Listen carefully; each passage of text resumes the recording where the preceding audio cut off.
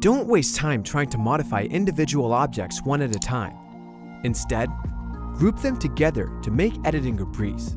In the editor, click on an object you want to group. Then hold shift and click on any other objects you want to include, or simply just click and drag to quickly select multiple objects at once. Now you can modify the objects together, move, resize, or rotate with ease. If you click away, the objects will no longer be selected, and you'll have to select them again to make any changes at once.